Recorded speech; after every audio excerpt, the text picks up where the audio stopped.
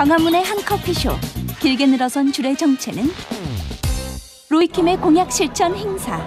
달콤한 남자 로이킴과의 향긋한 커피 데이트 현장으로 지금 출발합니다. 안녕하세요 슈스케 시청자 여러분 로이킴입니다 슈퍼스타 K5 지원자가 100만 명을 돌파했을 때 제가 약 100잔의 커피를 쏜다고 툭 던졌는데 또 당연스럽게 100만 명 돌파했네요 1일 바리스타로 변신해 팬들에게 선물할 커피를 정성껏 내리는 로이킴.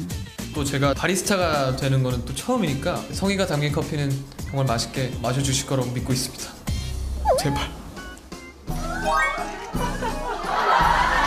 팬들을 위해 준비한 로이킴의 깜짝 선물. 로이킴의 미니 콘서트.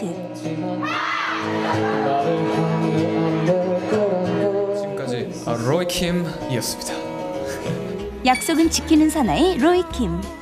향긋한 커피와 감미로운 노래 선물까지 함께한 달콤한 시간이었습니다.